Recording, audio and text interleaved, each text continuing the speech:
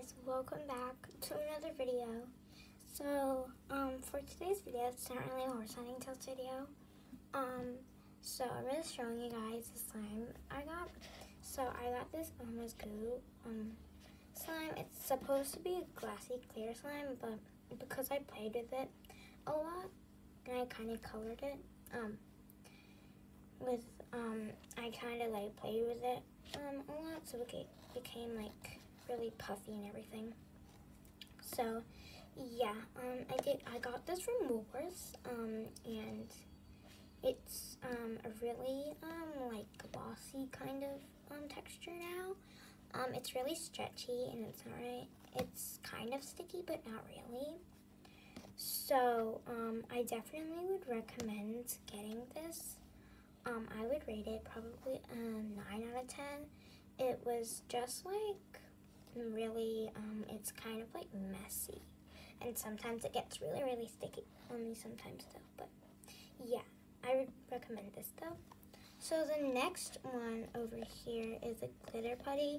It's actually supposed to be in this box, but I was playing with it too much and it ran out of room because it came all like puffed up. So if you guys can see so much space, it's because um, it's not really that puffed up right now.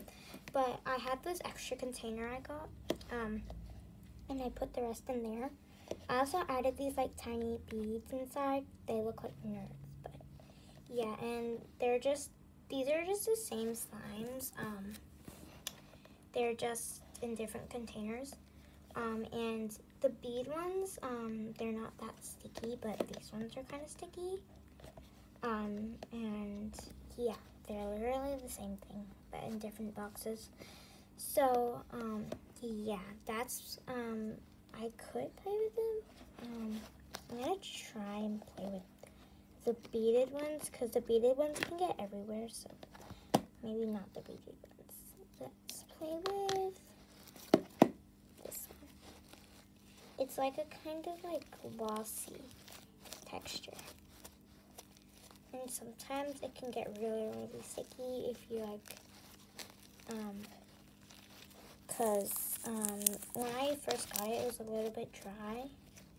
I forgot what I added to it, but it kind of made it more stickier. So, yeah.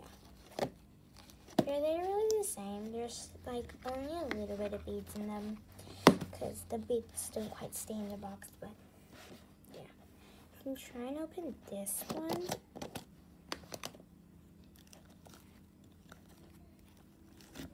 You guys can see, it's really, really stretchy. And the poke um, is really good.